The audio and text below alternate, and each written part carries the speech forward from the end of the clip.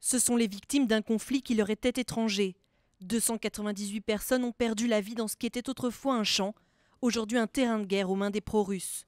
À plusieurs milliers de kilomètres, les familles peuvent reconnaître des valises ou des jouets en attendant désespérément les corps. 23 et 22 ans. Ils reposent là-bas, allongés sur le sol quelque part. Je ne sais pas où ils sont. Je veux des funérailles, je veux organiser des obsèques, je ne peux pas. Monsieur Poutine, renvoyez mes enfants à la maison.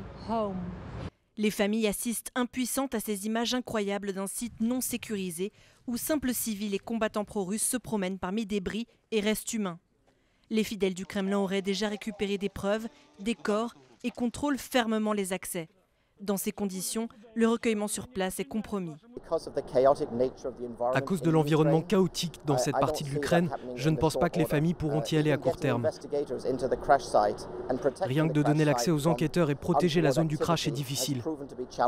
La pression augmente depuis hier sur Moscou. François Hollande, Angela Merkel et David Cameron ont exhorté Vladimir Poutine à obtenir le libre et total accès pour les enquêteurs au site du crash.